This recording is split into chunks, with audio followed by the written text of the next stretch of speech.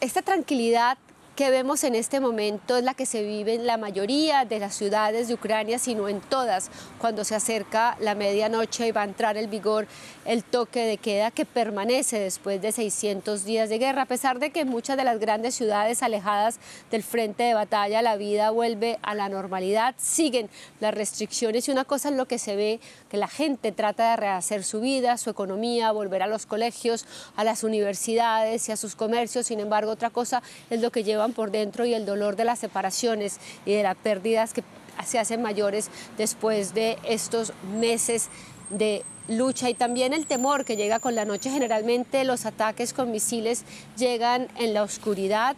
En las últimas tres semanas no han habido ataques en Kiev, pero se está esperando grandes ataques ahora que ya entra el frío. El año pasado el gobierno ruso lanzó una gran campaña de ataques contra la infraestructura energética en todo el país. Este año vuelve a esperarse lo mismo. Se piensa que será un invierno aún mucho más duro y sin embargo, sobre todo en Kiev están esperando que lo peor venga porque piensan que está acumulando misiles para atacar a la ciudad, que es la mejor protegida de todo y el país. Y esto llega en un momento en que la situación en el frente de batalla también es delicada. Hay avances y ataques en puntos estratégicos, especialmente en la ciudad de Abdivka, en la provincia de Donetsk, en la cual Rusia ha lanzado un ataque desde hace 10 días con tres batallones bastante insistentes. Sin embargo, las tropas ucranianas han logrado detener este avance, han tenido grandes pérdidas humanas y también materiales.